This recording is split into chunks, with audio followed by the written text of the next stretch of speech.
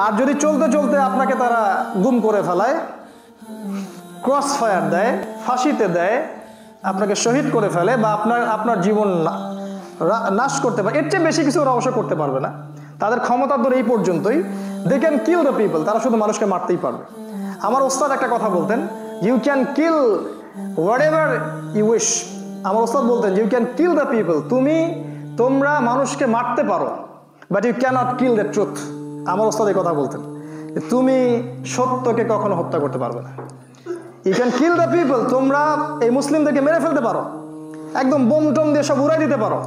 But you can't kill the truth কিন্তু তুমি সত্যকে কখনো মারতে পারবে না ইনশাআল্লাহ।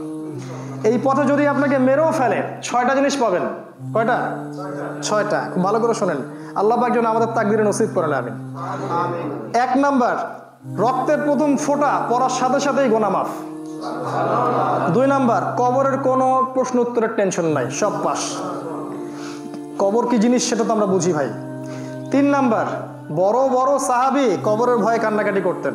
একজন সাহাবি সাদ বিন মুয়াজ রাদিয়াল্লাহু নবীজির অত্যন্ত প্রিয় ভজন। এই সাহাবি মৃত্যুর পরে তিনি যখন শহীদ হন, তার মৃত্যুর পরে সত্তর হাজার ফেরেশতা নেমে জানাজার নামাজে অংশ নিয়েছে।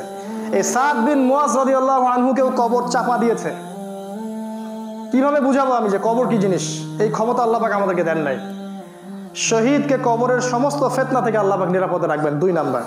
তিন নাম্বার, কেয়ামতের মাঠে যখন সে উঠবে, তার কোনো দুশ্চিন্তা থাকবে না।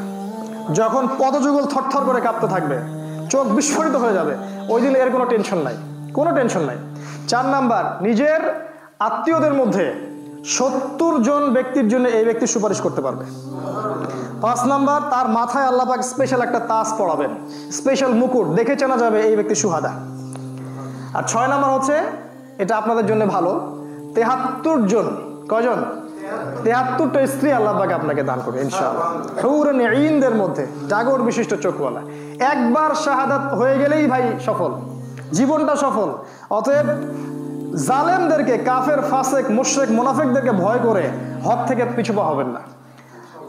আতাফিরুন আমিন কদারিল্লাহ। আপনারা কি আল্লাহর তাকদির থেকে পালাচ্ছেন? সাহাবিরা যুদ্ধের মাঠে বলতেন, আতাফিরুন আমিন সুহাদা আতাফিরুন আমিন মিনাল জান্নাহ আরদুহা কাউদিস সামাই ওয়াল আরদ। তোমরা কি ওইসব জান্নাত থেকে পালাচ্ছ, যার প্রশস্ততা আসমান এবং জমিনের সমান? তো এটাই আপনার ডেস্টিনেশন হওয়া উচিত। সবচেয়ে বেটার অপশন, যদি ঘরের কোনায় থাকতে না চান আপনি ফিসাবিল্লাহ নিজেকে উৎসর্গ করেন।